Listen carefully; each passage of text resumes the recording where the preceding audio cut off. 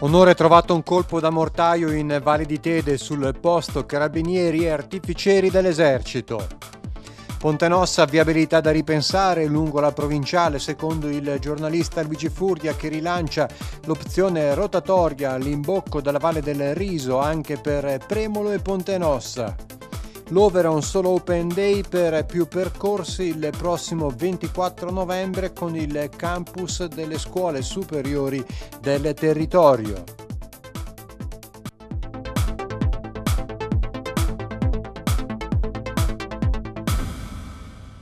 Buonasera e ben ritrovati con il telegiornale di Antena 2. Un pezzo di metallo che affiorava dalla ghiaia, così Stefano Gusmini, titolare dell'agriturismo Fattoria della Felicità, di onore questa mattina ha notato un colpo da mortaio in una valletta in Val di Tede. Stefano Gusmini in una valletta vicino al suo agriturismo qui in Val di Tede è stato rinvenuto un ordigno sì, stamattina ho notato una sporgenza da un pezzo di metallo che usciva dalla ghiaia, un pezzo dove eh, tendenzialmente tende un po' a franare e così incuriosito nel cercare di capire cos'è ho mm, scavato leggermente intorno e dietro questo pezzo di ferro che era proprio la coda di una bomba da mortaio e quindi niente, mm, ho chiamato i carabinieri, sono intervenuti e stiamo eh, aspettando gli artificieri per, eh, per bonificare la cosa. E come l'ha notata?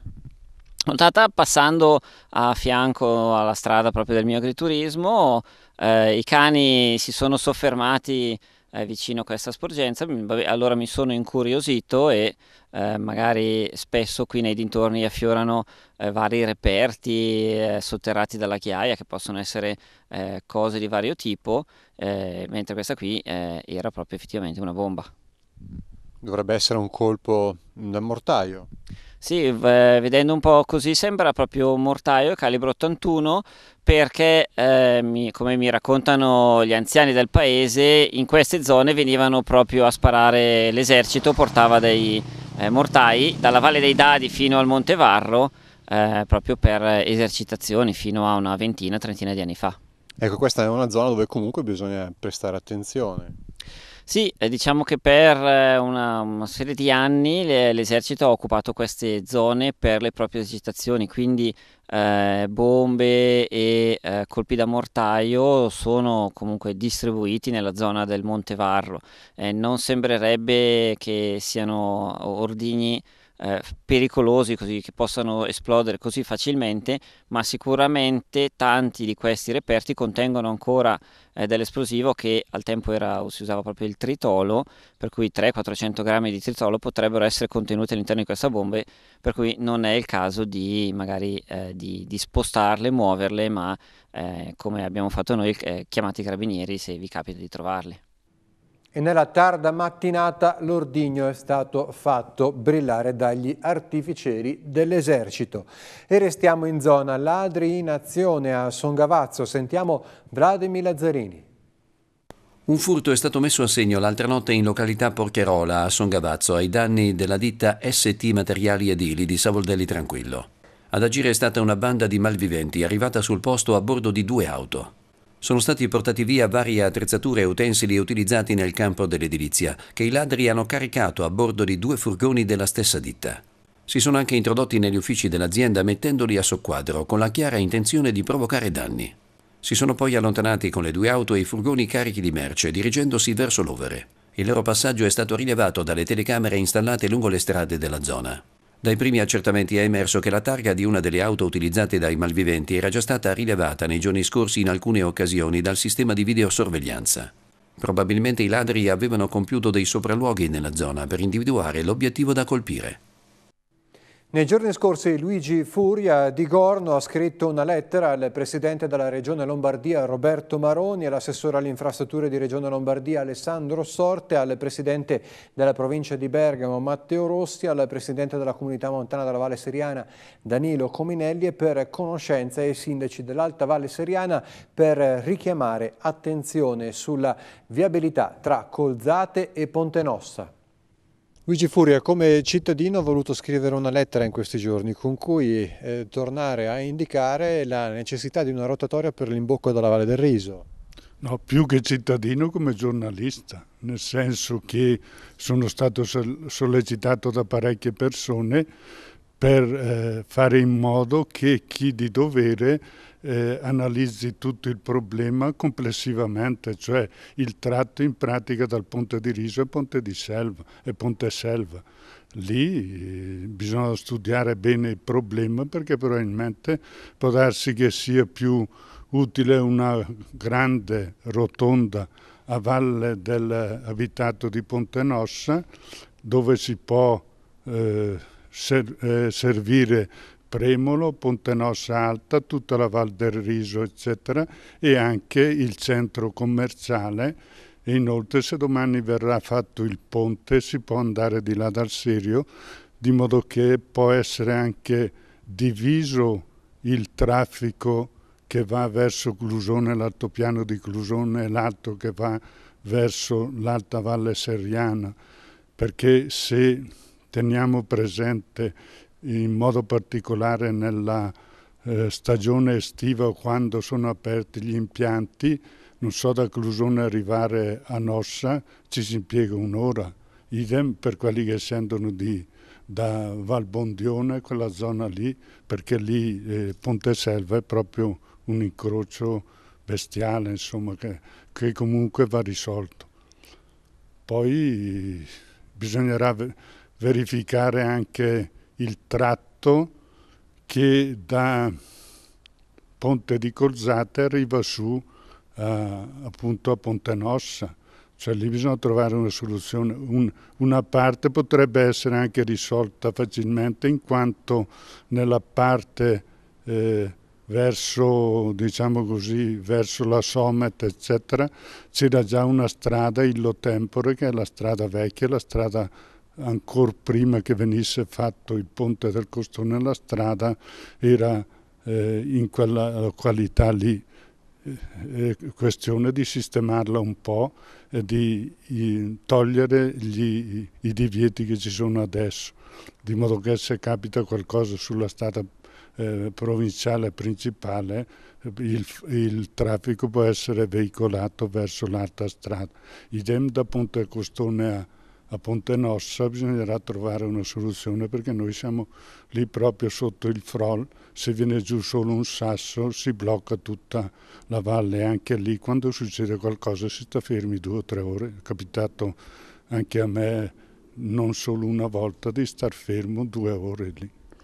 E per gli studenti di terza media si avvicina il tempo della scelta. Venerdì 24 novembre è in programma un'occasione con cui scoprire l'offerta formativa dell'Ivampiana, del Convitto Nazionale e del Decio Celeri di Lovere.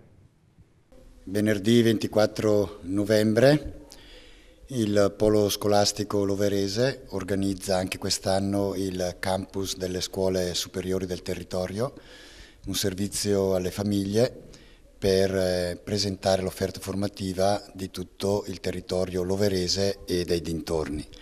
Eh, la sede è appunto il Convitto Nazionale Cesare Battisti di Lovere, l'appuntamento è per eh, venerdì 24 novembre alle 18.30.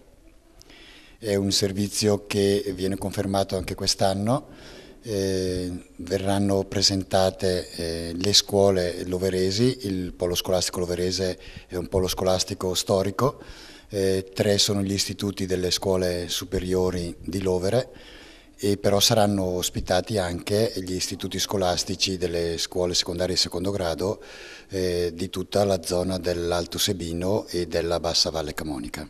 Ciò che viene proposto durante la serata è particolarmente importante per le famiglie perché è un'occasione unica per conoscere nel dettaglio l'offerta formativa delle scuole del territorio. Infatti a seguire ci saranno praticamente delle aule messe a disposizione per le scuole del territorio per presentare nello specifico le eh, diverse offerte formative.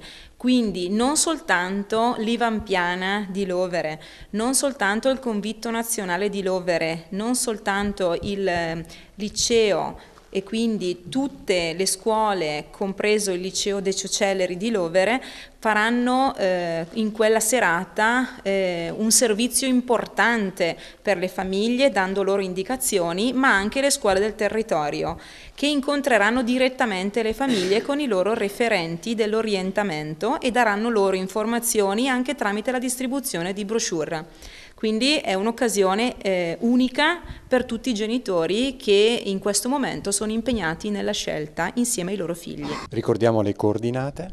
Il 24 novembre alle 18.30 presso il Convitto Nazionale Cesare Battisti, la prima parte presso l'auditorium con tutti i genitori e i dirigenti del polo scolastico loverese e poi a seguire le scuole del territorio con i vari stand. Anche quest'anno, come tutti gli anni, organizziamo questo incontro con le famiglie per illustrare sia le modalità di iscrizione che avvengono online e sarà il collega Rinaldi Nico dei comprensivi e, e proprio in questa sala eh, illustrerà le modalità facendo vedere proprio l'accesso al sito e come avviene l'iscrizione.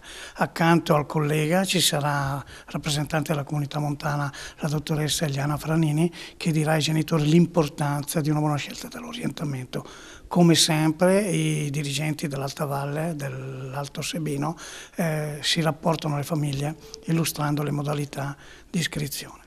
Proprio in questa storica sede che è unica della Lombardia perché è un convitto nazionale ed è una realtà i gioielli di famiglia della scuola italiana, con le loro opportunità anche per rimuovere gli ostacoli di natura economica e sociale e danno la possibilità di di rimanere qui in un ambiente eccezionale sia dal punto di vista strutturale che educativo.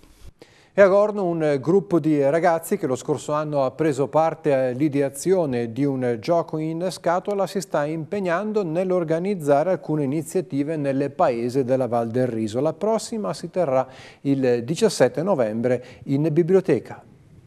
Questa sera sono qui con un gruppo di ragazzi che ha deciso di darsi da fare e di spendersi per il proprio paese un gruppo che è nato l'anno scorso grazie ad un eh, progetto che era progetto di Fondazione Cariplo, finanziato da Fondazione Cariplo, che ha prodotto un gioco in scatola e da questo gioco in scatola è nata anche questa, questo gruppo, questa amicizia.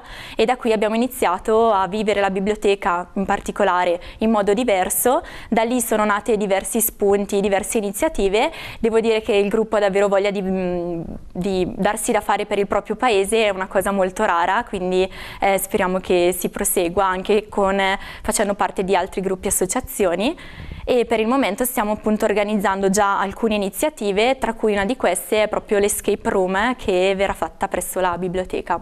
Allora, il prossimo evento in programma, come è stato anticipato, è l'Escape Room che avverrà nella biblioteca di Gorno. La prima data disponibile è il 17 novembre, a seguirsi tutte le date che verranno richieste. Per poter prenotare eh, ci si può collegare a Facebook oppure Instagram in cui sono stati, con, eh, in cui sono stati iscritti tutti i, i contatti disponibili è una data iniziale e proseguirà fino a gennaio questa escape room. Eh, partiamo con la spiegazione di cos'è un escape room. Allora, l'escape room è principalmente un gioco di squadra, infatti si entrerà dai 2 ai 5 giocatori all'interno di una stanza. Questa stanza avrà come ambientazione la prima guerra mondiale e vi verrà fatta un'introduzione sullo svolgimento della storia. All'interno della stanza abbiamo giochi di logica, di intuito, matematici che eh, tramite il gioco di squadra dovete riuscire a risolvere per poter appunto scappare dalla stanza. Il tutto va fatto in un'ora di tempo e mi raccomando il gioco di squadra. Allora, questo escape room è riguardante appunto la prima guerra mondiale. Eh, ne seguiranno comunque altre, eh, la prima che abbiamo già in mente riguardante appunto il territorio di Gorno e comunque eh, abbiamo in mente tanti, tanti, progetti e tanti eventi e quindi seguiteci sui social. Una pausa tra poco.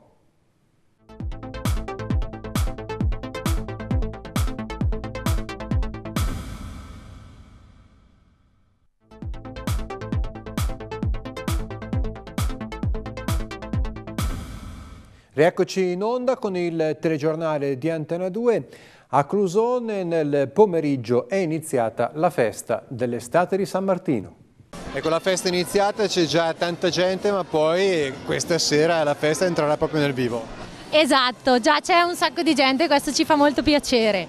Eh, verso le ore 20 e 30 inizierà l'esibizione degli artisti, quindi Mirko Sana e poi dei Morblus, quindi vi aspettiamo numerosi, ma prima delle esibizioni mi raccomando che qui la cucina è già aperta, quindi ci sono i nostri taglieri con salumi e formaggi tipici, un buonissimo piatto caldo che ve lo svelo già così vi fa venire appetito, è cinghiale e eh, poi abbiamo dei buonissimi scarpi noce di parre, perciò insomma vi aspettiamo numerosi. E poi c'è anche tanto altro ancora. C'è anche tanto altro, non dimentichiamoci le novità di quest'anno che sono le degustazioni enogastronomiche e la mostra fotografica con le fotografie dei vari anni della festa. Entrambe si svolgono in piazza Sant'Anna ma per tutte le informazioni vi invitiamo a venire qui alla festa dove vi, vi sapremo indirizzare. Eh, vogliamo poi ringraziare tutti quelli che ci hanno aiutato a organizzare la festa, in primis l'amministrazione comunale, nostro sponsor ML e eh, tutti quelli tra cui le visite, gli accompagnatori e le visite guidate, tutti quelli che danno una mano che sono sempre più numerosi. Immancabile la presenza degli alpini. Eh sì, noi collaboriamo più che volentieri con la banda Bidù. Gli diamo una mano per quanto riguarda la cucina e prepariamo come vedete le caldarroste ormai alcuni anni che il nostro gruppo collabora appunto con la banda Bidù e lo facciamo più che volentieri, anche per gli scopi che la stessa banda Bidù si prefigge. Ecco, vediamo che non mancano le caldaroste, quest'anno c'è anche il panettone. Eh sì, eh, siamo un po' sorpresi, abbiamo cercato di prepararci una scorta ma non è stata sufficiente visto il buon afflusso di persone che si sta verificando. E con le offerte che raccogliete? Beh, diciamo che la sezione quest'anno, sull'esempio di altre sezioni diciamo nell'Italia, dell'Italia, eh, ha lanciato questa iniziativa di vendere i prodotti.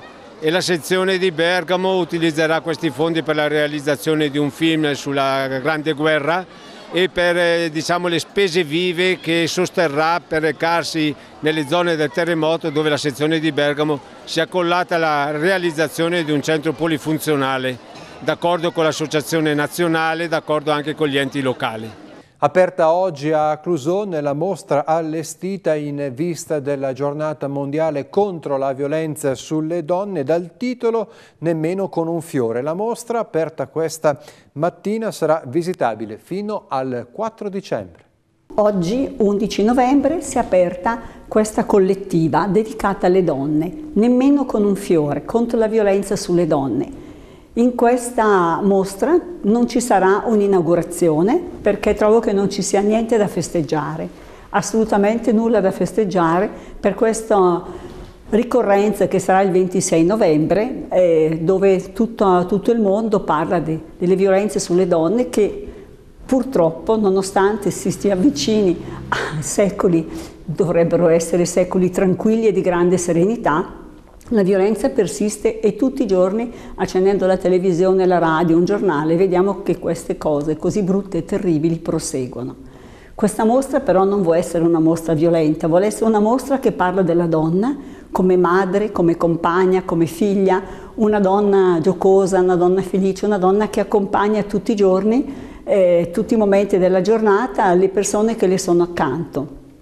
Ed è questo il ricordo che la donna vuole lasciare e vuole fare intravedere alle persone che le stanno vicine. Non essendoci un'inaugurazione, però la porta è aperta per tutti, chi vuol venire, se non ci sarà lo spumante, ci sarà una tazza di tè con dei biscotti. La mostra continua e termina il 4 dicembre. Questa collettiva ci sono 12 artisti pittorici che sono gli artisti che presento spesso in galleria. Ecco, c'è l'artista Pizio Tommaso che da qualche anno non si teneva più e che adesso viene ripreso in questo spazio e due artisti scultori come può essere Galliani e Lucchi. Negli artisti pittorici ci sono anche logicamente Longaretti, Rognoni, Cremaschi e poi c'è Calvetti, c'è Musante, e ci sono artisti come Perutta, Capelli, se non voglio dimenticare nessuno, comunque sono gli artisti che di solito gravitano in galleria come Alfonso Rocchi, che poi ci sarà la personale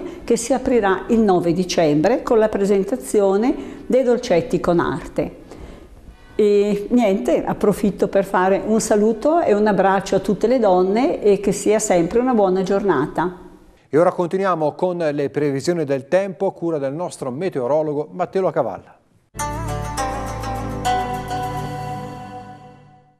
Buonasera a tutti e ben ritrovati con l'appuntamento meteo di Antenna 2. Ci aspettano delle giornate all'insegna del freddo, infatti sembra proprio che nei prossimi giorni arriverà un anticipo d'inverno. Infatti se vedete dalla grafica, proprio nella giornata di domani, soprattutto in serata, arriverà questo nucleo di aria gelida proveniente direttamente dalla Siberia che raggiungerà il nord Italia e successivamente il centro Italia. Questo nucleo di aria gelida porterà nella serata di domani precipitazioni delle piogge, degli scrosci di pioggia e delle nevicate che si abbasseranno, pensate, fino a circa 1000 metri di altitudine. Sarà velocissimo questo passaggio, infatti già nella mattina di lunedì questo peggioramento sarà già sulle regioni centrali e pensate che sull'Appennino nevicherà fino a bassa quota e noi saremo raggiunti da aria decisamente gelida di estrazione siberiana con temperature anche sotto lo zero durante la settimana prossima.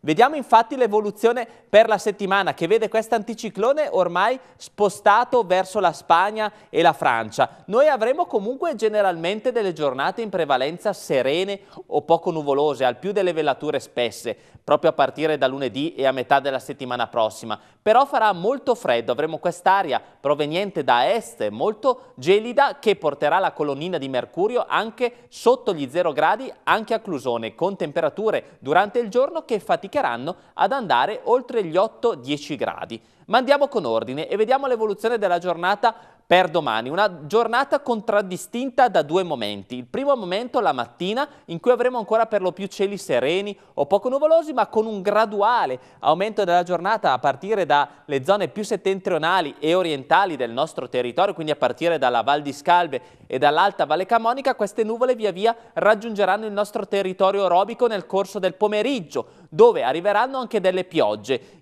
Abbiamo indicato degli scrosci di pioggia nel pomeriggio sera e delle nevicate nevicate, inizialmente a 1600-1700 metri di altitudine, ma nella notte fra domenica e lunedì qualche spruzzata di neve raggiungerà anche quota 1000-1200 metri di altitudine. Abbiamo indicato anche il vento forte in montagna, arriveranno questi intensi venti settentrionali che porteranno questa sensazione di freddo notevole oltre i 2000 metri di altitudine. Nel pomeriggio i piovaschi raggiungeranno anche la zona del lago di Iseo e in serata nottata anche la zona della medio-bassa Valle Seriana e lago di Iseo.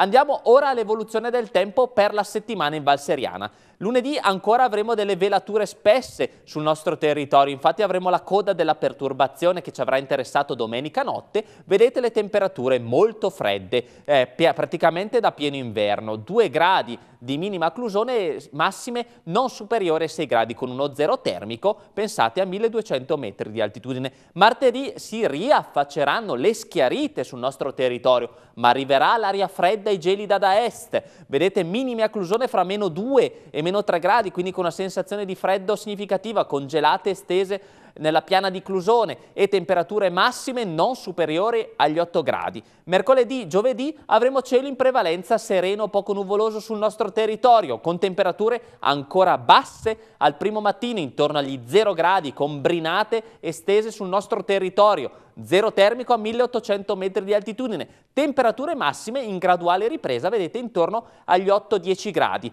Anche giovedì sarà una giornata con bel tempo, con temperature in graduale ripresa, massime a intorno agli 11 gradi. Venerdì ancora bel tempo in attesa di un possibile peggioramento che potrebbe iniziare a partire dal prossimo fine settimana, infatti avremo un graduale aumento della nuvolosità già a partire dalla giornata di sabato che potrebbe portarci a una domenica poi con un significativo peggioramento e pensate che i nostri modelli matematici vedono anche delle intense nevicate le, appunto fra domenica e lunedì prossimo a quota 1500 metri di altitudine, quindi un buon presagio per l'inverno in arrivo. E per il meteo tutto, vi aspetto sempre qui sabato prossimo su Antenna 2.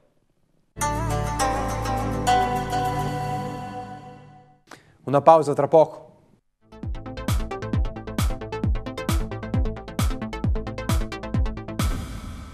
Rieccoci in onda con il telegiornale di Antena 2. Ora continuiamo con la pagina degli auguri. Vladimir, Elena e Roberto insieme a tutti i parenti fanno tanti auguri a Laura per il suo compleanno.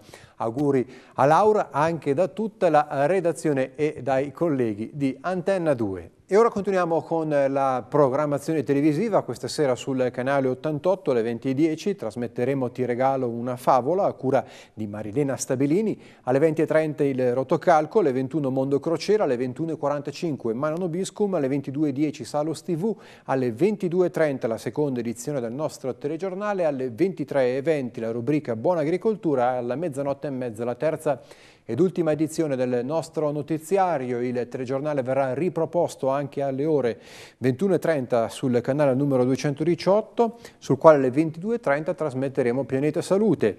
Sul canale sportivo al numero 628 alle 20.30 trasmetteremo la rubrica di sport invernali Ski Magazine, mentre alle 21.30 la rubrica sportiva Blue Sport. L'almanacco per domani, domenica 12 novembre, il sole sorge alle 7 e 11 minuti e tramonta alle 16.57. Il culmine è alle 12.04 minuti, la durata del giorno è di 9 ore e 46 minuti.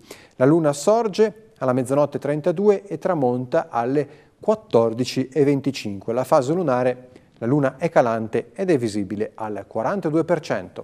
E con questo è tutto. Grazie per la vostra attenzione e buona serata.